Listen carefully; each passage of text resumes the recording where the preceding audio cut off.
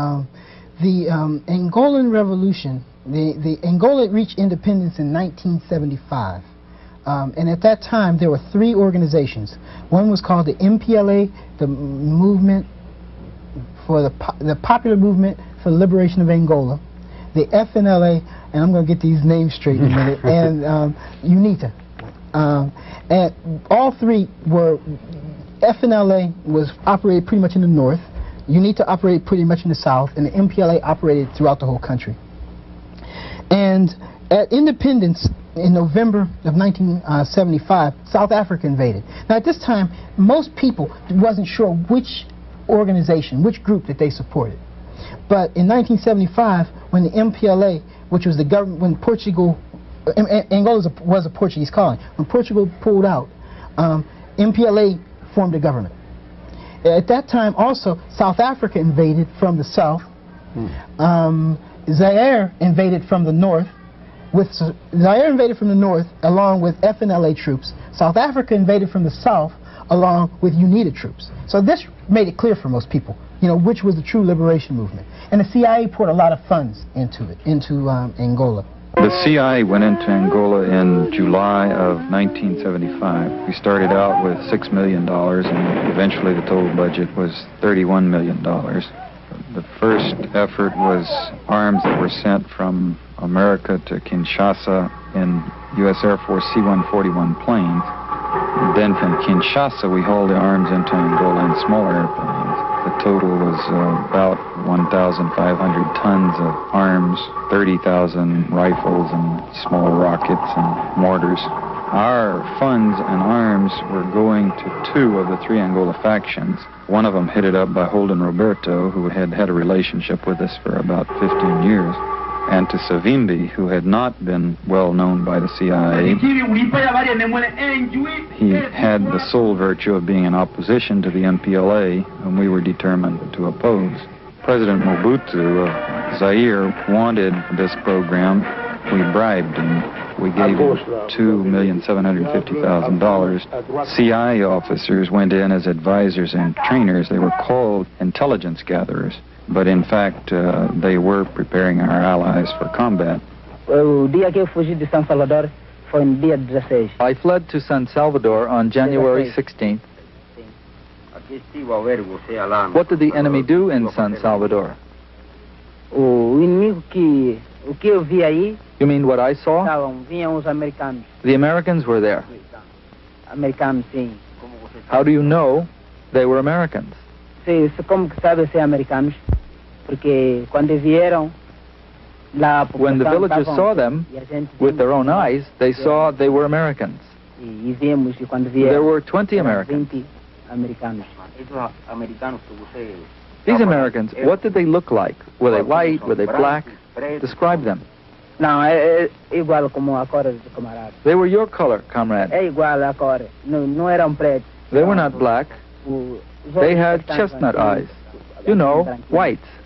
There were not enough CIA advisors to make a great deal of difference, however, and we hired European mercenaries, and we tried to hire white Angolan refugees to go back in as mercenaries fighting on our side.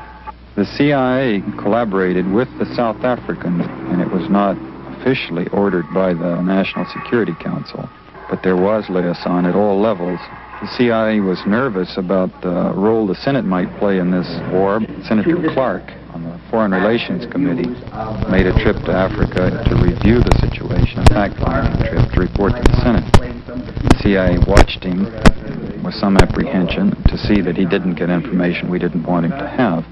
The Senate, led by Senator Clark, shut down the Angola program in December of 75 while the Senate was shutting us down, uh, Cuban army eventually of 10 to 15,000 combat soldiers, MiG-21 aircraft, tanks, uh, just swept over the FNLA and UNITA.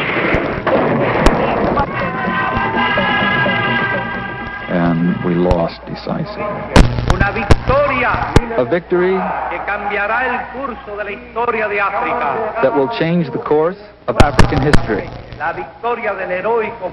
The victory of the heroic people of Angola. Now, Cuba had a long history of support for African liberation.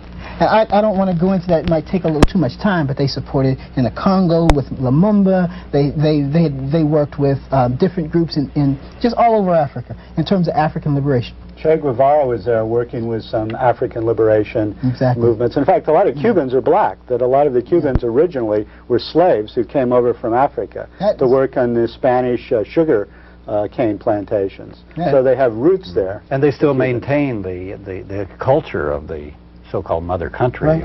And the interesting thing is that you know I was reading one thing and it's really true. They said one of the most interesting paradoxes of history is that if the slave um, traders knew that that the people that they were taking over, you know, to Cuba, to cut sugar cane as slaves, were going to come back centuries later and help liberate that territory, they would just they would know what to do. and it's true, you know. But anyhow, so they had they, they had the, the situation is that, that that the MPLA government is backed up into the capital of Luanda. There's uh, two major armies, one coming from the south. Well, you know, South Africa put one of the the biggest tank brigades together since World War II you know, to, to attack. And also from the north. Now, South Africa had has still the most modern army on the shores of Africa. So, so of course, they felt like this was going to be a cakewalk. You know, um, they felt like that, that, it was going to be just a few weeks that they were going to take Luanda, then they were going to back up and, and set up a united government. The MPLA government asked for help, sent out a call for help, and actually a lot of countries came to help. The major country was Cuba. They they they they, um, they discussed it and they decided that if, if South Africa took Angola, that all of Africa would be would have to deal with apartheid. And, and, and it, it would destabilize more and more borders. So the African countries also supported Cuba coming. That's just an important point to make. So Cuba sent over about 40,000 troops or so to stop the South African invasion. They, um, the South Africans at this time were right outside of Luanda, before, you know, before the Cubans could come And they had done a tremendous amount of damage, you know, to the Angolan countryside, you know, moving all the way up. Cubans stopped them, and the Angolans stopped them. Another important point is that the, the MPLA army was a guerrilla army, which is totally, I don't know if, if your viewers um, are into tactics of war, but you don't hold land when you're trying to hold, try to hold land when you're a guerrilla army. It's a different technique, totally different strategy. Different. So they, they really didn't even know how to do to, to, to fight the South African Zaire right. and UNITA and FNLA. Okay, so so the Cuban army comes in, um, stops the attack, and pushes South Africa all the way back to the borders of Namibia. Which is pretty amazing, a small country like Cuba taking a giant like South Africa, which was supported by the CIA so, and the United States, and pushing him back. Yeah, and pushed That's, Zaire troops back to up to the north. And then the South Africans immediately uh, wanted to negotiate. And they wanted to negotiate because they knew that, that the force that had been put together could have went right into Namibia and liberated Namibia then. But, but, but they, they stopped at the Namibian border and negotiated. South Africa said that they would stay, there should be a de demilitarized zone on both sides of the, the Angolan border, in Namibia and in Angola, and that they would pull back. Of course, what happened was they didn't. They continually invaded. They continually invaded and kept in invading up till, you know, last year. So that, that, that, that's the historical right. situation, and I can, if you want, talk about some of the current... Um, well, that's what we're interested in. What's been going on in the last year or two to try to normalize Yeah, the, the, the, uh, the, South Africans are saying they want to negotiate again. I wouldn't trust them. Right, right. Um, right on both points. Um, the South Africans want to negotiate again, mm -hmm. and of course people wonder why is that? I mean, why all of a sudden the South Africans want peace in Angola and, in, and, and also are ready to... Um, uh, signed the UN Resolution 435 giving independence to Namibia, which will sure put in a SWAPO government, Southwest West Which Africa is a leftist government. Yeah, and it's the government that they would have been trying to stop since they right. have been in, uh, in Namibia. Well, the, the point is this. In November of, uh, first of all, South Africa has continually invaded. And, and there have been, how, how the defense of Angola has been over since 75 is they have built up three lines of defense. The uh, FNL, I mean the um, the FAPLA troops, which is the Angolan army. Three lines of defense, and then behind them the Cubans are. The, the Cubans uh, sit back and have really have not really been in battle since 75, 76. Oh, really? Yes. Um, the FAPLA troops, you know, are so good now that they have been able to stop South Africa. They, the South African troops have never been able to get to the third line of, of defense. The second line has always stopped the South African troops. But South Africa decided that the balance of forces were such that they wanted, because they were afraid that that, that SWAPO was going to get independence from Namibia, and a lot of things were happening around Africa, and they were, they were even destabilizing more countries more. Oh, Mozambique! They've been Mozambique. tearing Mozambique, bleeding Mozambique to death exactly. with their, their, their own countries. Right.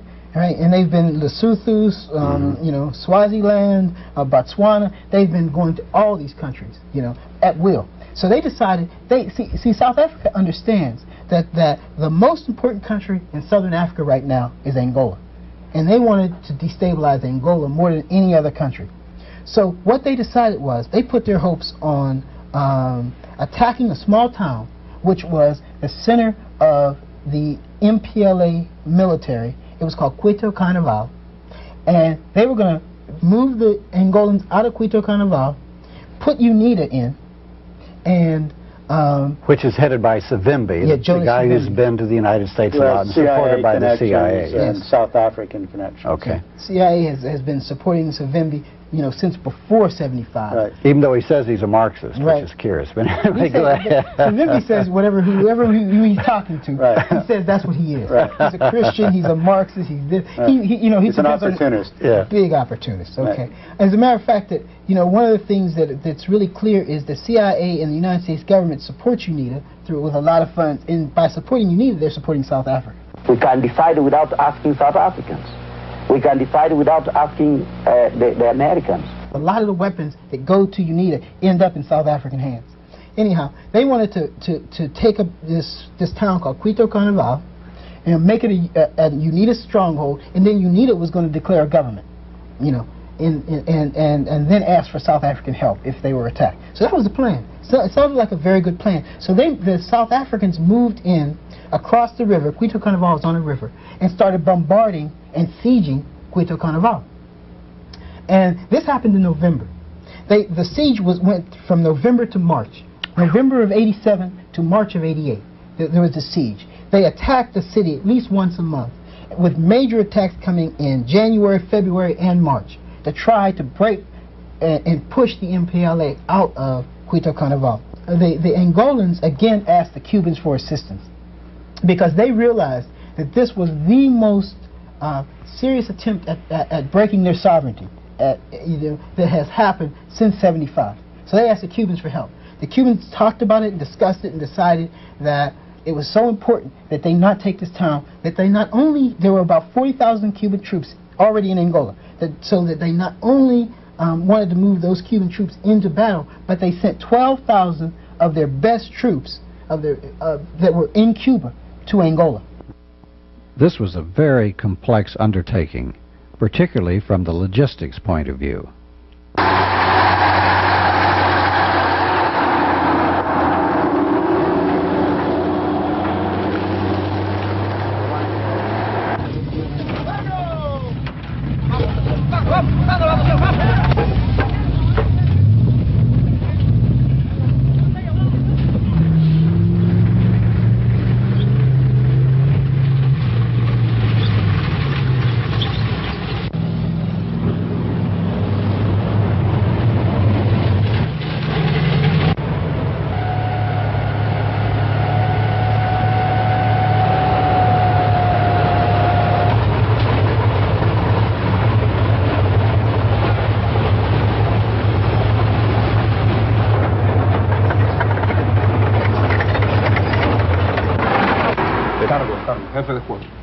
For this operation, the Cuban Army will only take volunteers.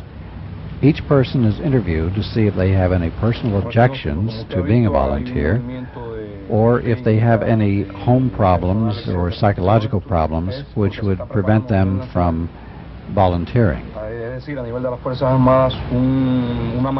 en saludo al 31 aniversario del desembarco de caso de que se nos plantee una misión por el mando superior de cumplir alguna misión internacionalista. The term internationalista is a very special one in Cuba. People who volunteer for overseas duty of any type, whether military or health workers or education, are called internacionalistas.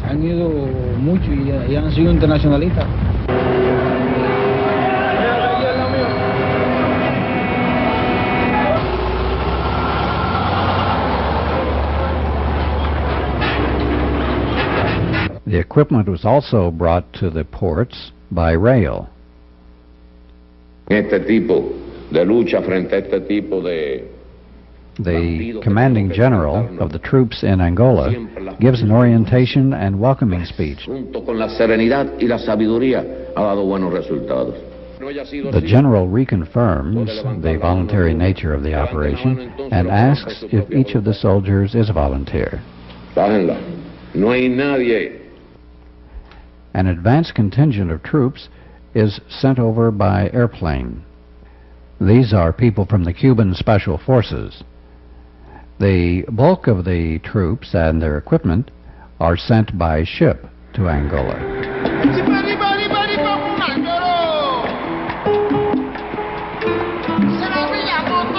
The units of the Special Forces will be sent to the action area where the situation is most critical, at Cuito Cuanavale itself. This is the area that the South Africans are attacking and it is about 1,000 kilometers from the airport in Luanda. Next is the South African attack.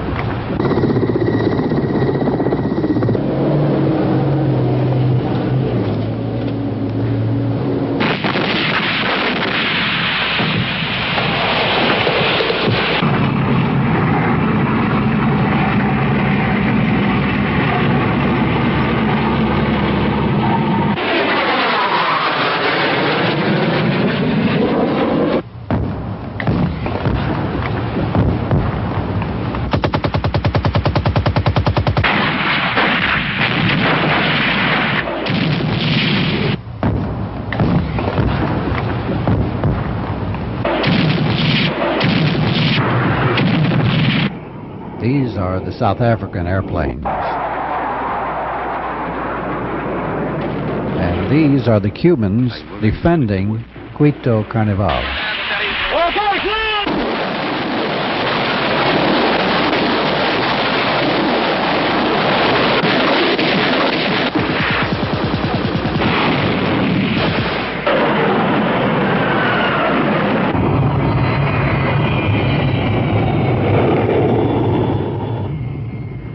Cuban MiG airplanes, in the hands of the Cuban pilots, turned out to be decisively superior to those of the South Africans.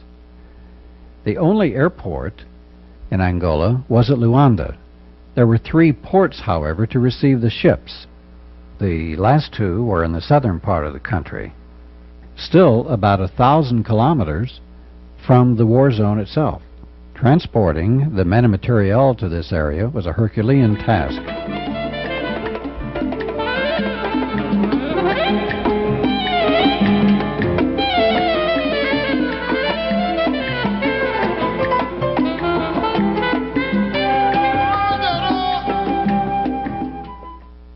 Trek to the war zone begins. So, so now there's 52,000, you know, Cuban troops in Angola. That's what they said. And Fidel Castro actually said that the, because they sent these 12,000 troops, it called the, the defenses of their own country into question. Mm. They, they, had the, their, they, they, they, their, their defenses weren't as good because they sent these 12,000 troops.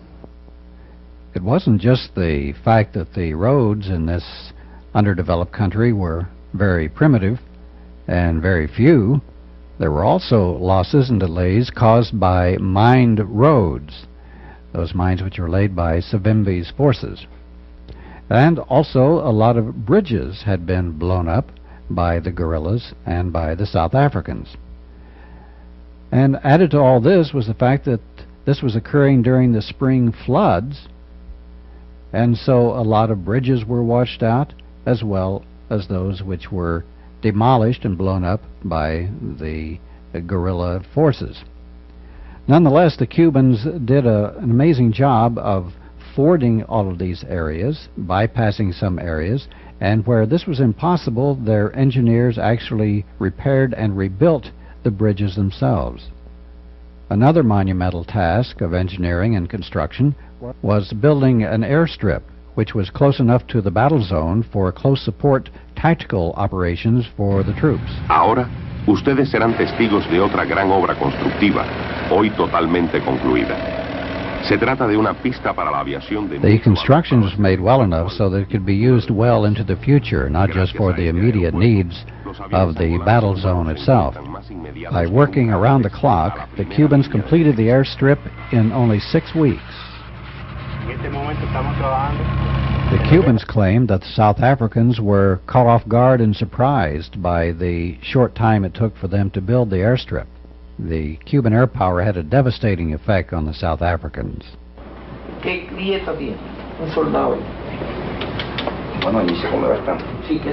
Meanwhile, back in Havana, Fidel Castro was examining every detail of what was going on.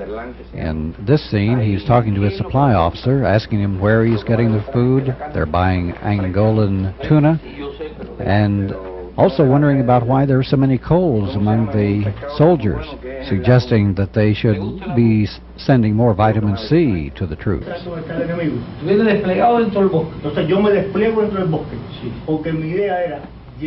Castro also questioned very closely this tank commander who just came back from the battles.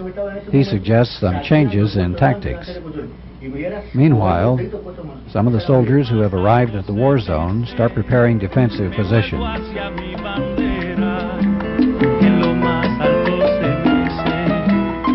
Canta conmigo varón, y si el enemigo llega, vamos a darle y cañón, porque aquí ya no hay cabrón rompa lo que está hecho. Angola y Cuba derecho van por senderos hermanos, construyendo con las manos lo que está dentro del pecho, construyendo con las manos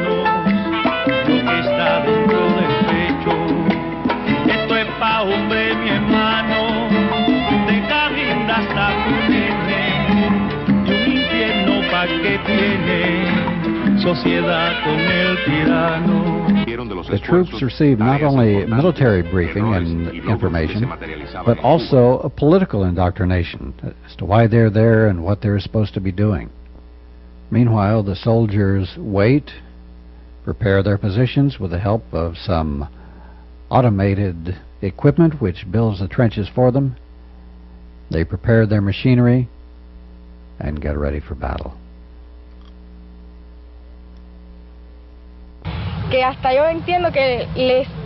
The woman who is the head of the medical unit at the front says it's not only important to have medical facilities available, but also it's good for morale to have women there. These are the facilities which the Cubans have for medical assistance and treatment near the front. I guess equivalent to our MASH units in the Korean War. And here is what the patients would find in the city.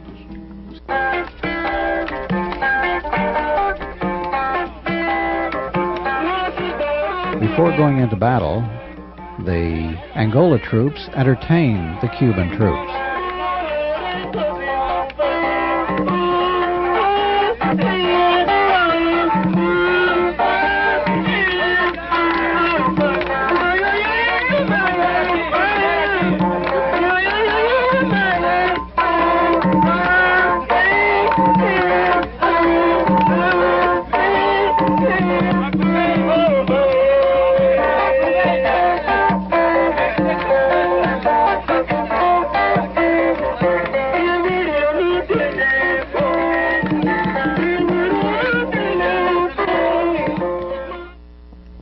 From the end of January throughout February, the South Africans attacked, trying to break the lines of the Angolans, the FAPLA troops, which were east of Cuito Cuanavale.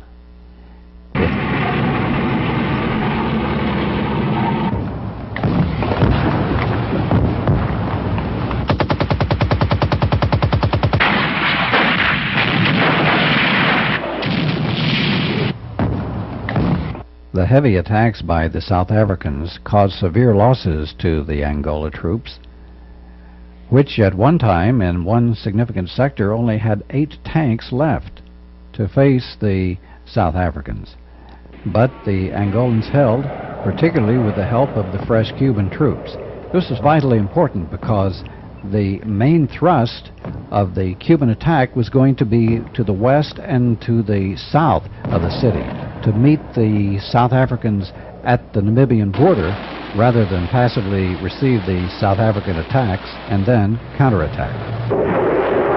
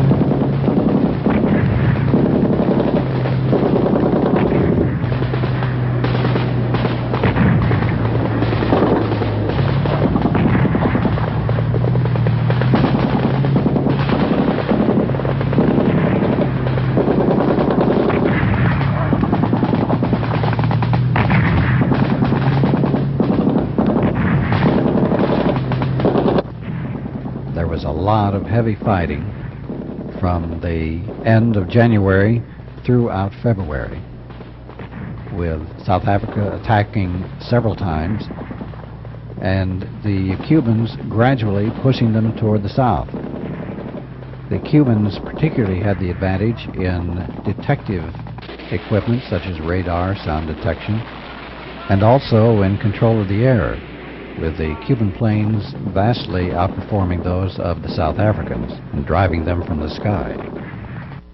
Por estos días de febrero, los racistas habían cambiado la táctica. As a result of this, the South Africans changed their tactics. They could not make any day attacks anymore because they had no air superiority or a chance of surprise so they started launching a series of night attacks. The South Africans still figured they had technological superiority, and so they attacked repeatedly in February.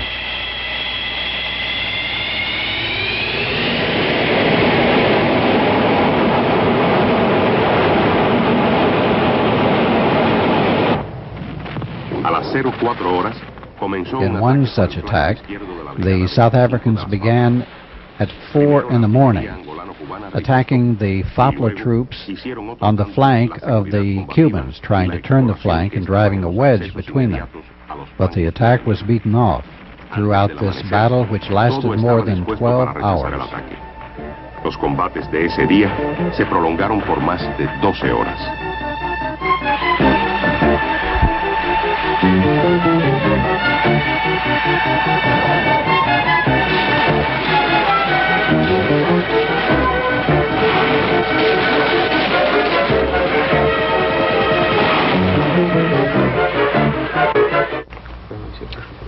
Que la situación era muy difícil. The commander of the Cuban troops in Angola reviewed the situation the next day with his battle-weary troops. The strain of war can be seen in their steps and in their faces. Incluso logramos que la aviación enemiga se anulara por el sector este de aquí.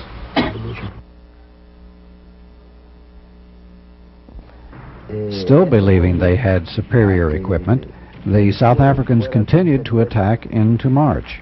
They did have excellent artillery, and that was causing the Cubans and the Angolans some problems. The South Africans thought that their tanks were superior to those of the Cubans, but this turned out not to be the case.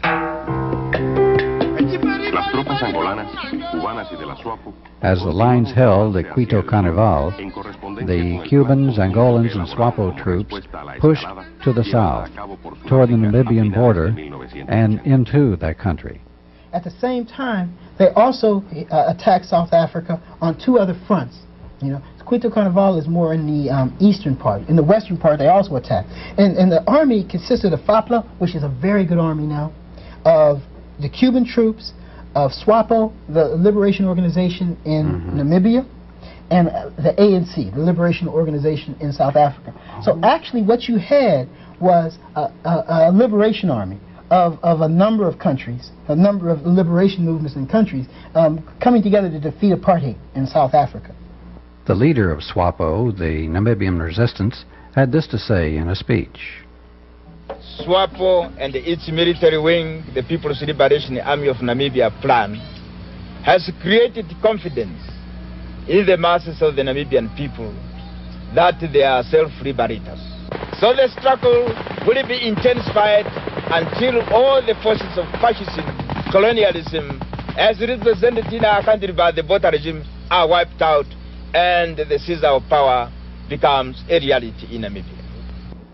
They push it all the way back to the Namibian border, and again South Africa wanted to negotiate. But this time it was even a, it was more of a major defeat than last time. And the reason is that Cuba brought over, and Angola had um, something called MiG-23s. These are these mm-hmm. jets that uh, South Africa, that, that, the Soviet Union, you know, um, gave to Cuba. Well, actually, Cuba bought them, and and also Angola bought some. They were no the the, the MiGs, the the um, the Mirage jets that that South Africa bought from France were no match for these. Oh. The South Africa also has these really big tanks that they call elephants. These elephant tanks scare people because they're really big and they're really loud, but they are no match for the smaller, more accurate Soviet tanks. So they were picking off tanks like that. If you got into a Soviet, I mean, a, a, a South African tank that was like a death wish, just like a, a Mirage jet. It was a death wish mm-hmm. because there was no way that you could you could you could you could live. So so they were knocking out all of, all of South Africa's major weapon systems. What happened in this battle was that South Africa also attacked with what's called the Namibian Territorial Militia. That these are black troops mm -hmm. that South Africa was using as cannon fodder. These troops rebelled oh. and refused to fight because they realized what the, what the deal was. So South Africa had to move up its white troops. And so what South Africa was began to, to have to, to deal with is a lot of white troops were getting killed. Their planes were getting knocked out of the sky. They couldn't even send up a plane. Um, their troops were getting beat really bad. So the white South Africans were getting killed by the, you know, you know, dozens or scores or whatever. And um, so, and, and the uh, interesting thing was that all of a sudden, within South Africa, a, a um, a resistance movement began to develop for the draft. People began to say, I am not going into the army. Sounds like the United States in Vietnam, where particularly black and Hispanic soldiers got fed up, you know, fighting and dying over in uh, Vietnam. American uh, jets were getting shot off by Vietnamese rifles, etc. and so the war just couldn't continue. Right. And so it's the same thing going on in South Africa. Right. So, so on the one hand, you have, um, it, it, which is a very important point I'd like to make, you have South Africa in Namibia attacking Angola, and uh, South Africa has made Namibia the most militarized area, you know, along the border, the most militarized area in the world. There are more weapons, more guns, more tanks, more more missiles in, the world, right, in, in, that northern part of Namibia. Hmm. So of course they felt like they were going to um, just just again take this town and it would be very easy. But the important thing for your viewers to understand is that the balance of forces in southern Africa have totally changed now.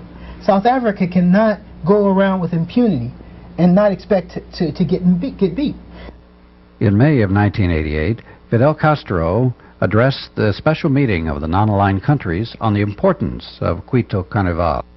But I may assure you something. La historia de África va a tener un momento muy importante. The history of Africa will have Pero a very important un, moment. Antes de Cuito Cuanavale. But when it is written, it will be written y otra después de Before Cuanavale and Porque after la poderosa Cuito Because the powerful South Africa, los blancos, la raza white, superior, the superior race, se estrellaron clashed contra un pedazo de territorio against a small piece of territory defendido por negros y defended mestizos. by white and mulattoes.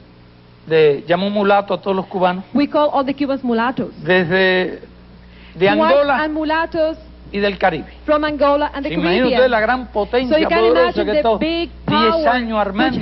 Been uh, up Invencible, 10 years. inteligente. The power. Y que se haya estrellado which clashed contra un pedazo de territorio against aquí. a small piece of land. When you meet a white South African, con un racista, a racist, lo único que tienen que preguntarle the only thing you have to ask es ¿Qué pasó en Cuito What happened in Cuito ¿Qué pasó en What happened in Cuito Esa es la cosa que hay que preguntarle. -hmm. And there's a serious hope that there will be a, a negotiated settlement mm -hmm. to the uh, problems of uh, southern uh, Africa, and that South Africa will at least be put in its place for the time mm-hmm. being. Mm-hmm. And we'll just have to see if this is a ruse or if they're forced into uh, scaling back on their operations. Yeah every time there's been a peace agreement or peace discussions with South Africa, South Africa has used it, it that, that, that discussion to move more troops mm -hmm. and to rearm. and like so what's happening now is South Africa is trying to find a way to uh, to rearm itself and get more modern weapons so they can go back into Angola. Everybody knows that. Mm. Everybody. And so what they're trying to do is use this Cuban troops issue mm -hmm. as a guise to do that. And you know the, Angolans and the Cubans know what's happening because they fought mm -hmm. South Africa before. Mm -hmm. But because of this major defeat, it, it, it causes a very big problem for South Africa because they're going to have to either negotiate or fight. -hmm. And they can't win by fighting, so they're going to have to negotiate. Does South Africa want to negotiate? ¿Por qué Sudáfrica Why quiere is negociar? it that South Africa wants to negotiate?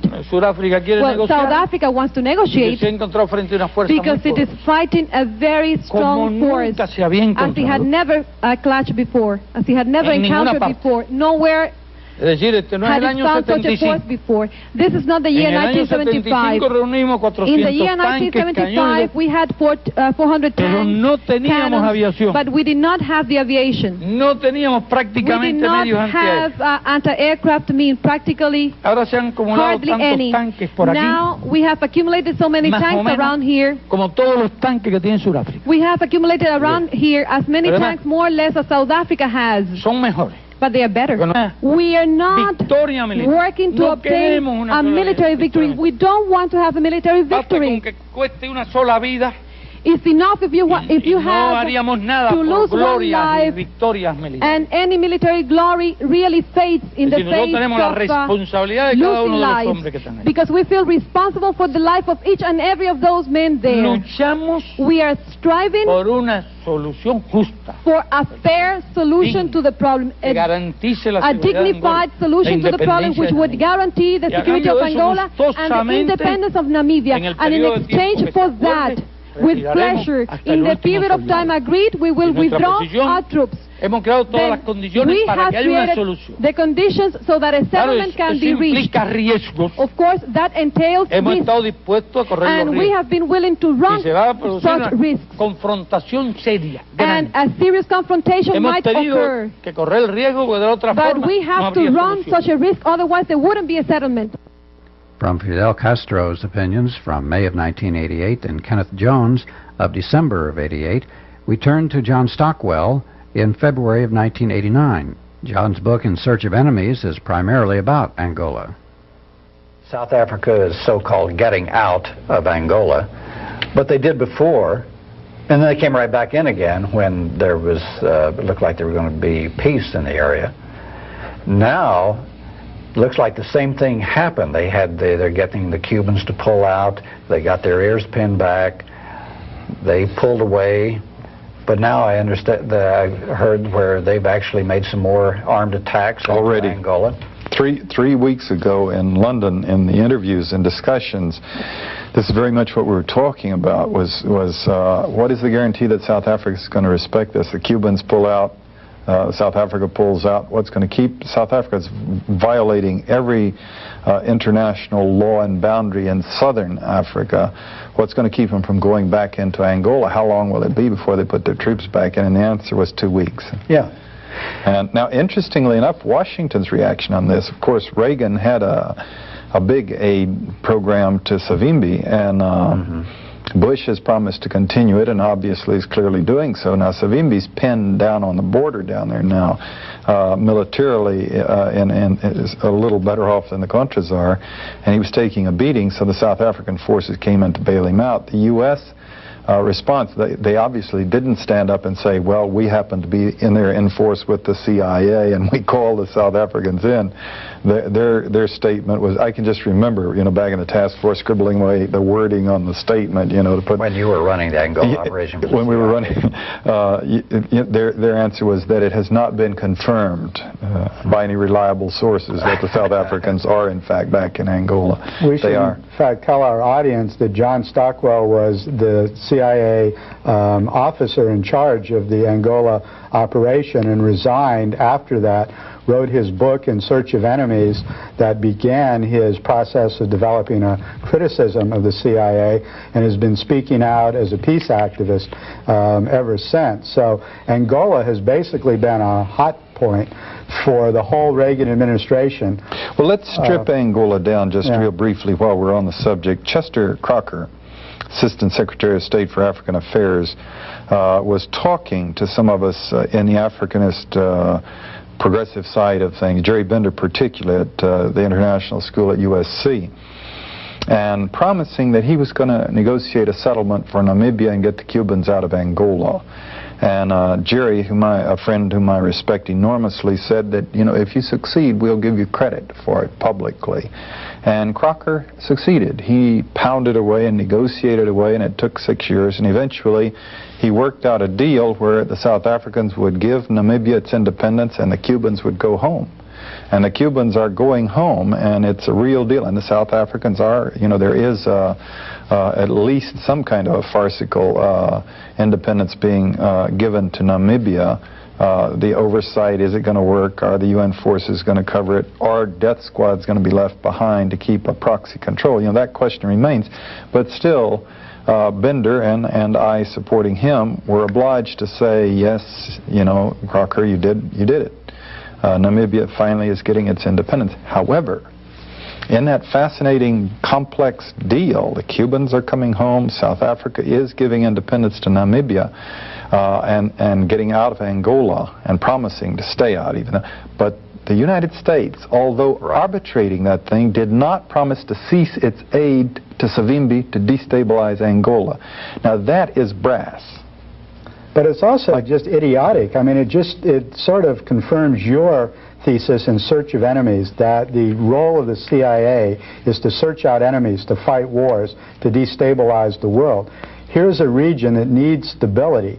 There's negotiations to try to uh, stabilize it, and the U.S. keeps supporting these rebel forces to try to overthrow the Angola government that led to the, all, the absolutely bizarre situation of the Cubans there that were supporting the Soviet-backed Angolan government protecting the U.S. multinational corporations. I think Gulf Oil had big Gulf Oil, which was bought out by Chevron. That the Cubans were protecting yeah. against the CIA-backed Angolan rebel forces. So there's no, it's not even in U.S. economic interest when to Savimbi, destabilize Angola. When Savimbi was brought to Washington in the winter of '86, remember he he uh, he was he was he dined at the White House, and yet he he went on television promising the aid that he was being given that he would attack Gulf oil facilities, which facilities had been built by loans which Reagan had approved. In addition to which, he has kept the central part of Angola frozen and the Benguela Railroad shut, and that's Zaire, our big client's only economically viable egress to the sea, is that railroad that we pay Savimbi to keep shut. Meanwhile, uh, the human horror, the, the Red Cross counts 55,000 people in Angola who have been maimed by Savimbi's landmines wow. and attacks. And George Bush continues to support those forces. John, uh, wow. one of the analyses that I heard about the, the situation was that there was pressure within South Africa to get out. They wanted to get out of the Angolan situation. Uh, they didn't want to uh, support it financially, and also there were problems because their soldiers were getting killed. So the United States said, okay, go ahead, pull out. We'll come in and we'll directly supervise the situation and take care of it. So it wasn't a big victory for the Angola government or for Cuba in that respect. It was just a switch of people who were going to control it. Well, this yeah, this is exactly the point I was trying to make is that uh, us Crocker playing big arbitrator and we didn't agree to give the region peace. But it is a fact that Namibia is getting its independence. The, the, the, South Africa is going to try to do what we did to Nicaragua in 1933 when we pulled the Marines out and created the Guard and left it behind with Somoza, you know, in charge. They're trying to create the same type of a situation and have a proxy control of it. Uh, from the Cuban point of view, the Angolans are, are being left facing a dire situation with Savimbi still being funded to, to destabilize and the South Africans still coming across the border and the Cubans coming home. And uh, in Cuba's uh, interests, and, and it's, it's very difficult to fault them because they've, uh, they, they've sacrificed a lot of their own and their own capital to the extent that they can, and they're not a wealthy country uh, to, to stick up for their allies, the Angolans. But this is the point at which they could, in fact, come home with uh, uh, having accomplished, uh, you know, a measurable objective. But it's, Namibia is independent because of what they did. Yet the independence of Namibia or any country in Africa is precarious because of the CIA presence there. Whenever an independent African nation takes a socialist road or a road that goes against the interests or ideologies of the CIA, they destabilize the government. Kwame Nkrumah wrote a book called Class Struggles in Africa that documented the ways that the CIA overthrew about 25 progressive governments in Africa, including Nkrumah's own uh, Ghanaian government in the 1960s. So if Namibia takes a route that the CIA doesn't like, they can act to destabilize it one way or the other. So that's really the precarious situation that all independent nations in Africa face. This is one of Chomsky's best points is that uh, when the U.S., when a country tries to escape, our first effort is to bludgeon them back into the fold, and if that fails, uh, as it did in Cuba conspicuously, as it did in Vietnam conspicuously, as it's done in Angola to date, and Nicaragua to date, then the fallback is to starve them out. Create economic chaos so that they will not be a positive example to anyone else to want to break free. We don't want to have a military victory. It's enough if you want, if you have to lose one life and any military glory really fades in the face of uh, losing lives because we feel responsible for the life of each and every of those men there.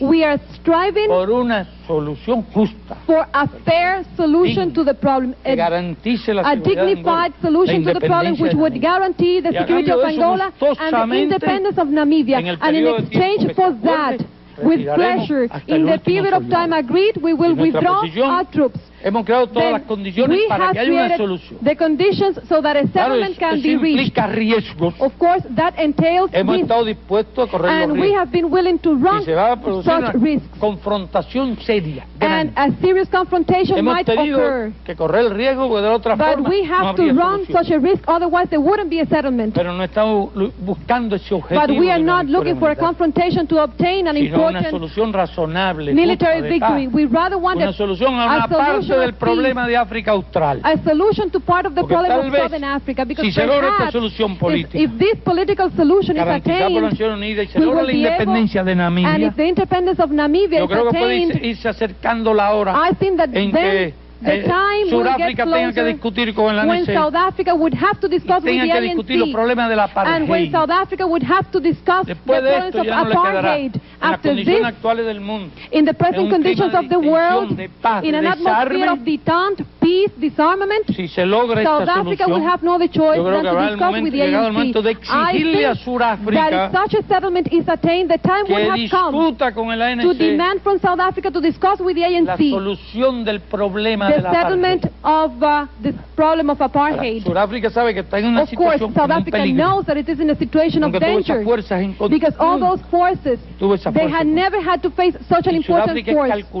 And South Africa is very calculating, cynical, Si puede hacer un- opportunistic. If they can do something and get away with it, they try to do it. If they could go into Mozambique, they would do it. If they can go into se mete a Zambia, they do it. To do anything, to commit crimes. If it can go into Lesotho, se puede en Botswana, if it can go to Botswana, donde quiera que se wherever meter, se South. Africa can go, it goes. donde no tiene baja. Where it doesn't Donde suffer impune. casualties, where they can do away with it, Pero cuando tiene que where they enfrentarse a can una get away with fuerza it. como But esa que now, está when allí, they have to face such an important Entonces force ya- as the concentration of Cuban Angolan forces there, now they think it twice. imagina las cosas. Es They try to cuidadoso. calculate the risks and they are careful, realidad. they are watchful, and that's real reality Y ellos there. saben que están ante un riesgo. And they know that they, are, that they are in the face of a risk, De ello va a depender lo que ocurra aquí. and it will be up to Si them what happens here. soberbia, arrogancia If they, re, y if they react with uh, haughtiness And if they want a confrontation, puede ser que pierdan no solo Namibia. It could happen that they lose not only puede Namibia. ser que pierdan el apartheid. It could happen that they even lose apartheid. Si, si Sudáfrica se if South Africa takes, a una catástrofe militar, military catastrophe, puede ser el fin del apartheid. That could even be the end porque of ese régimen es demasiado débil. Because that regime is too weak demasiado débil políticamente. Too weak politically. Y tiene demasiado gente oprimida allí. Keeps too many people oppressed. Que no se puede arriesgar a una derrota militar grande. no se puede arriesgar una catástrofe militar. Nosotros lo sabemos, pero no, no, no, no queremos. But we don't want that to happen. No queremos una victoria militar. Queremos que este problema se resuelva ahora. Y creo que estaríamos en la antesala de la solución del problema del apartheid. Creo que uno de los grandes problemas que le quedan no solo al África, sino al mundo. But even if the South Africans and the Cubans all leave Angola, that still leaves Savimbi free in the country, still supported by the United States. John Stockwell tells us more about Savimbi. Uh, South Africa's policy is to keep Angola destabilized. They've kept their armies in southern Angola for about 10 years since the 75 thing. Uh, they've costed billions of dollars in damages. They raid and bomb throughout, you know, up into the central part of the country, uh, with the purpose of, you know, of just keeping the country off balance and keeping it at war and keeping it from being able to spend its money to build schools and hospitals. And they've supported Savimbi because he can he can work with his guerrilla forces and go in and raid and blow things up deep into the country. So they've armed him and fed him and kept him viable. Well, superficially, you know, this is very appealing. Uh, this guy is uh, macho plus. He is very charismatic. He's a beautiful guy. He's fun. He's he's got these kind of wide popping eyes and this energy, you know, and he's he's got a quality which uh, very few of these liberation leaders have, which is he likes to fight. He likes to be in the bush with his men. And, and you know, everywhere else in the world, the trouble like the Contra commanders, they want to be in Tegucigalpa or in Miami and uh, they don't want to go in there and die in the hills of northern Nicaragua. They want to get in, Maya in Managua and drive the Mercedes. But Savimbi wants to be in there with his men, directing the things. And you know him well. You, you spent yeah. time with him, I guess, didn't you? I went into his lair and uh, recruited him into our program and then indirectly managed the liaison with him. Uh, that charisma and his like, you know, his, his, his yen for the, the, the contest and he's fighting communists, a Marxist government. And man, that's simple. We have to support him. We have a moral obligation to support him. Wow, let's give him some money. Now, it gets a little bit more wrinkledy when you add in the fact that Savimbi is an avowed Marxist. so, I didn't know that. Oh, he was yeah. He was fighting oh, yeah. the uh, Portuguese uh, colonialists under a Marxist Maoist uh, banner. In the last year, uh, we've we've had Savimbi going on television and telling about his plans if he ever gets into power to reorganize the country along Marxist lines. Now, what we're doing, and we've given him the first $15 million to Savimbi, and we've got trainers in there with him right now uh, to, to train him in his terrorist activities. And this is the man we would go in and work with. Now, the congressmen and senators that I was talking to would say, well, what are our alternatives? And uh, I was saying that's easy. We, we establish relations with the government of Angola, which is what Gulf and Rockefeller and everybody have been saying all along, to provide the diplomatic umbrella and influence for our corporations that are doing great business there right now. And then we order South Africa to get her troops out of the country because they have a policy of destabilizing this country. And of course we shut off aid to Savimbi and hopefully starve him out so that he has a choice of working peacefully, politically in the country, which may be impossible now because there's so much bloodshed, but it was possible originally. Or he can go live somewhere else and, and play some other game. John, what is the response of the rest of the world toward Angola? You know, what is it, 97% of the world condemns this. It's we're on the wrong side. For us to be holding hands with and working with uh, South Africa and the brutalization of a black African country is uh, criminal and just totally impolitic.